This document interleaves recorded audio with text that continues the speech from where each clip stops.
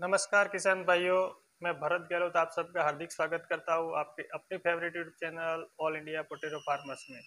किसान भाइयों, आज 24 जून 2023 शनिवार।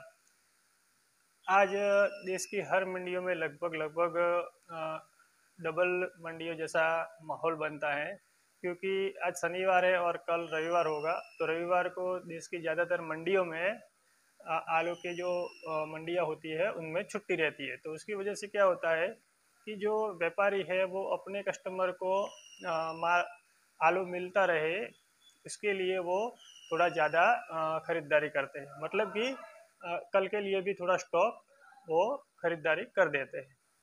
तो सबसे पहले इस वीडियो में हम बात करेंगे गुजरात में आलू के रेट के बारे में और देश की विभिन्न मंडियों में आलू की क्या पोजीशन है और आलू की जो आवक है वो कितनी बड़ी है या कम हुई है और रेट में क्या सुधार हुआ सुधार हुआ है उसके बारे में बात करेंगे। तो किसान भाइयों, वीडियो पूरा देखें तो आपको पूरी जानकारी मिल जाएगी। तो किसान भाइयों, चैनल पे नए हो तो चैनल को सब्सक्राइब कर ले और बाजू वाले नोटिफिकेशन बेल को ऑल करके रखें, जिसकी वजह से आने वाले वीडियो की नोटिफिकेशन सबसे पहले आपको मिल जाएगी। तो चलो, वीडियो में आगे बढ़ते हैं और बात करते हैं गुजरात के कोल्डो पे या और मंडियों में अभी क्या भाव आलू बिक रहा है? तो सबसे पहले बात करें पुखराज आलू की। तो पुखराज आलू गुजरात के कोल्डो में अभी आठ रुपये से लेके ग्यारह रुपया पचास पैसा प्रति किलो के हिसाब से बिक्री हो रहा है। मतलब कि चार सौ रुपये से लेके पाँच सौ पचहत्तर और एकदम बढ़िया क्वालिटी का आलू हो तो छः सौ रुपया प्रति पैकेट के हिसाब से भी बिक्री हो रहा है। मतलब कि छः सौ पचास रुपये से लेके नौ सौ पचास रुपया तक अस्सी किलो की बिल्टी के हिसाब से गुजरात के कोल्डो में पोखराज आलू बिक्री हो रहा है। उसके बाद बात करें सुख्याती आलू की तो सुख्याती आलू दस रुपये से लेकर साढ़े बारह रुपया किलो के हिसाब से और पाँच सौ रुपये से लेकर छः सौ पच्चीस रुपया प्रति पचास किलो पैकेट के हिसाब से गुजरात के गोल्डों में बिक्री हो रहा है। मतलब कि आठ सौ रुपये से लेके एक हज़ार रुपया प्रति अस्सी किलो की बिल्टी के हिसाब से गुजरात के गोल्डों में सुख्याती आलू बिक रहा है। उसके बाद बात करें कोलम्बा आलू की तो कोलम्बा आलू ज़्यादातर डायरेक्ट कोल्ड से गिलाई लोड होता है। क्योंकि उसकी क्वालिटी बहुत बढ़िया होती है इसकी जो स्किन होती है, वो शाइनी होती है और उसका जो सेब है बहुत बढ़िया होता है। उसकी वजह से वो गिलाई लोड होता है। तो कोलम्बा आलू की बात करें तो कोलम्बा आलू ग्यारह रुपये से लेके पंद्रह रुपया प्रति किलो के हिसाब से बिक्री हो रहा है। मतलब कि पाँच सौ पचास रुपये से लेके सात सौ पचास रुपया प्रति पचास किलो पैकेट के हिसाब से बिक्री हो रहा है। मतलब कि नौ सौ रुपये से लेके बारह सौ रुपया प्रति अस्सी किलो की बिल्टी के हिसाब से गुजरात के गोल्डो में कोलम्बा आलू अभी बिक्री बिक्री हो रहा है 24 जून 2023 के दिन। उसके बाद बात करें बादशाह आलू की तो बादशाह आलू ज़्यादातर शेड में कटाई करके, ग्रेडिंग करके ही जाता है। तो ये जो भाव मैं बता रहा हूँ, वो ग्रेडिंग वाले आलू का भाव है। तो बादशाह आलू गुजरात के कोल्डो में फ़िलहाल बारह रुपये पचास पैसे से लेके सोलह रुपया, सवा सोलह रुपया तक भी किलो के हिसाब से बिक्री हो रहा है। मतलब कि छः सौ पच्चीस रुपये से लेके आठ सौ रुपया, सवा आठ सौ रुपया प्रति पचास किलो के पैकेट के हिसाब से बादशाह आलू बिक्री हो रहा है। अगर बिल्टी में जानना चाहे तो एक हज़ार रुपये से लेके एकदम बढ़िया क्वालिटी का आलू हो, एक आधा लॉट तो तेरह सौ रुपये तक भी अस्सी किलो की बिल्टी के हिसाब से बिक्री हो रहा है। लेकिन किसान भाइयों, एक बात ध्यान में रखे कि ये बादशाह आलू का जो तेरह सौ रुपया भाव है, वो एकदम बढ़िया क्वालिटी का और कोई एक आधा लॉट ही बिक्री होता है। मतलब ज़्यादातर जो आलू है, बादशाह आलू, वो 1100 से लेके 1200 रुपये तक 80 किलो के हिसाब से ग्रेडिंग वाला बिक्री हो रहा है, ये बात ध्यान में रखे। उसके बाद बात करें लॉकर आलू की तो लॉकर आलू तेरह रुपया पचास पैसे से लेके सत्रह रुपया पचास पैसा किलो के हिसाब से अभी बिक्री हो रहा है। मतलब कि छह सौ पचहत्तर से रुपये लेके, छह सौ पचहत्तर रुपये से लेके आठ सौ पचहत्तर रुपया प्रति पचास किलो के पैकेट के हिसाब से बिक्री हो रहा है। मतलब कि ग्यारह सौ रुपये से लेके चौदह सौ रुपया प्रति अस्सी किलो की बिल्डी के हिसाब से गुजरात के गोल्डो में अभी लॉकर आलू की बिक्री हो रही है।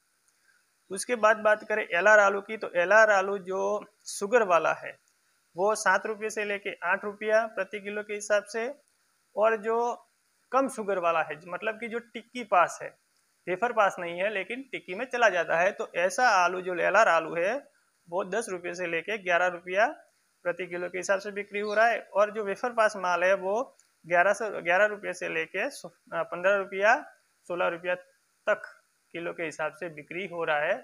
तो किसान भाइयों, ये थे 24 जून 2023 शनिवार के दिन गुजरात के कोल्डो में जिस रेट में आलू बिक रहा है, उसके भाव में भाव के बारे में जानकारी थी। अब बात कर लेते हैं कि गुजरात की मंडियों में आवक में क्या माहौल बना हुआ है और मंडियों में आलू की डिमांड कैसी है? तो सबसे पहले बात करें कि सूरत आलू की सूरत आलू मंडी की तो सूरत आलू मंडी में आवक बहुत ज़्यादा है और उसमें एक बात खास है, ये है कि सूरत मंडी में हल्के आलू की जो आवक है, वो बहुत ज़्यादा रहती है। उसकी वजह से क्या होता है कि सूरत मंडी में आलू के भाव ज़्यादा बढ़ नहीं पाते। मैं एक बात यहाँ आप सबको बताना चाहूँगा कि हर जगह से हर कोल्डो से ऐसे होता है कि जैसे पुखरा जालू हो गया या ख्याति हो गया, सुख्याति हो गया या बादशाह हो गया, जो हल्की क्वालिटी का है तो वो सीधा क्या करते हैं कि सीधा सूरत मंडी में भेज देते हैं। तो वहाँ वहाँ क्या होता है कि मंडियों में ऐसे हल्के मालों की भरमार हो जाती है और उसकी वजह से उनके भाव डाउन हो जाता है। और इन हल्के मालों के भाव डाउन होने की वजह से जो बढ़िया आलू है, बढ़िया क्वालिटी के आलू है, उनके भाव में भी ज़्यादा उछाल देखने को नहीं मिलता है।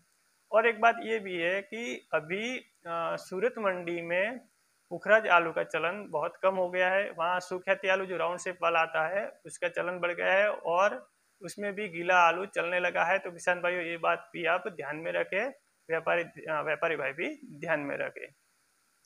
उसके बाद बात करें राजकोट और सूरत मंडी की तो राजकोट और सूरत मंडी में राजकोट और अहमदाबाद की मंडी में, सॉरी तो अहमदाबाद की मंडी में भी सूरत जैसा ही हाल है। वहाँ भी हल्के माल बहुत ज़्यादा आते हैं, कम साइज़ वाला माल ज़्यादा आता है। लेकिन एक बात अच्छी है कि मंडियों से जो लेवाली है वो अभी अच्छी है। बढ़िया तो नहीं बोल सकते, लेकिन ठीक है। तो ये थे गुजरात की मंडियों के बारे में जानकारी दी। उसके अलावा दिल्ली की आज़ादपुर मंडी की बात करें, या तो फरुखाबाद की सातनपुर मंडी की बात करें, या कानपुर की चकरपुर मंडी की बात करें, या राजस्थान की, जयपुर या जोधपुर मंडी की बात करें या महाराष्ट्र की पुणे और मुंबई मंडी की बात करें तो इन सभी मंडियों में आवक ठीक ठाक है। पिछले हफ़्ते पिछले हफ़्ते से आवक ज़्यादा है। लेकिन जो आलू की जो डिमांड है, जो आलू की खपत है, जो लेवाली है, वो पिछले हफ़्ते से ज़्यादा है। ये एक प्लस पॉइंट है। तो किसान भाइयों, ये बात थी मंडियों की आवक और उसकी डिमांड के बारे में। और अब बात कर लेते हैं आने वाले समय में जो बारिश का पूर्वानुमान बताया जा रहा है, उसमें एमपी और यूपी में बहुत ज़्यादा बारिश आने वाले दो दिनों में बताई जा रही है। और गुजरात में भी पूर्वानुमान बताया गया है कि 27 से लेकर 23 तीस जून तक बारिश होने की संभावना है। तो आने वाले समय में ये भी पता चलेगा कि बारिश कितना होती है और उन बारिश की वजह से हरी सब्जियों में भी कितना नुकसान हो सकता है। और ये जो बारिश होने के बाद आलू की जो डिमांड है आलू का जो खपत है वो कितना बढ़ता है? जो आलू की डिमांड में खपत में बढ़ोतरी होने के साथ साथ आलू के रेट में क्या सुधार हो सकता है? तो वो आने वाले समय में पता चलेगा। तो आने वाले वीडियो देखते रहे। उनमें सब जानकारी आपको मैं वीडियो के ज़रिए देता रहूँगा। तो किसान भाइयों, आप अपना आलू बेचते रहे। आलू को पकड़ के ना रखें। ये बात बहुत ध्यान में रखें। अपने आलू को जो स्टोर किया है आपने, वो धीरे धीरे धीरे करके हर भाव में बेचने की कोशिश करेंगे तो आपको बेहतर फ़ायदा मिलने का चांस बनेगा। तो इसी बात के साथ मैं आपसे विदा लेता हूँ। आपका दिन शुभ रहे। जय जवान, जय किसान।